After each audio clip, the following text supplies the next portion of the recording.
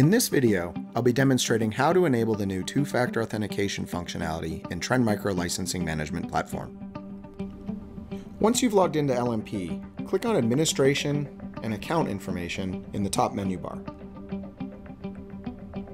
Select Configure Settings from the two-factor authentication row.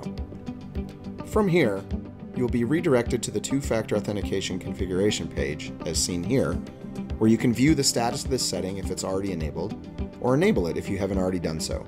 Click on Enable Two-Factor Authentication to do the initial setup. In the subsequent pop-up dialog, click Setup Now. Verify that your email address is displayed, and click Send Confirmation Email. Once you receive the email with the confirmation code, copy it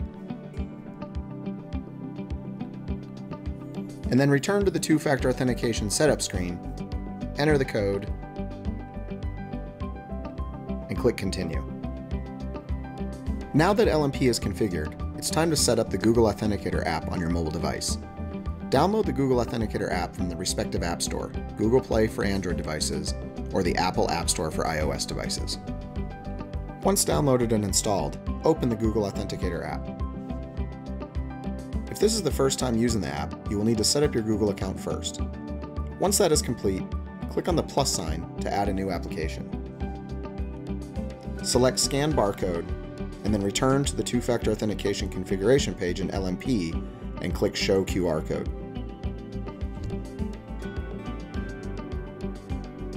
Once the QR code is displayed, point your mobile device at the screen and the application will be configured and displayed within the Google Authenticator app. You can now close the QR code on the two-factor authentication configuration page. Back on the two-factor authentication configuration page, enter the six-digit code displayed in the Google Authenticator app and select Enable Two-Factor Authentication.